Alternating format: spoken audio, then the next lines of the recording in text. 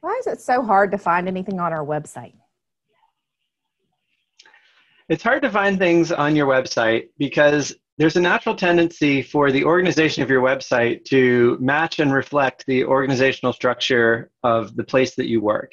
And the reason that is is that different departments uh, have different focuses, different kind of content they're producing. There are discussions about the prominence and the organization of where that content is published on the website, and those naturally reflect the organizational boundaries within inside your organization.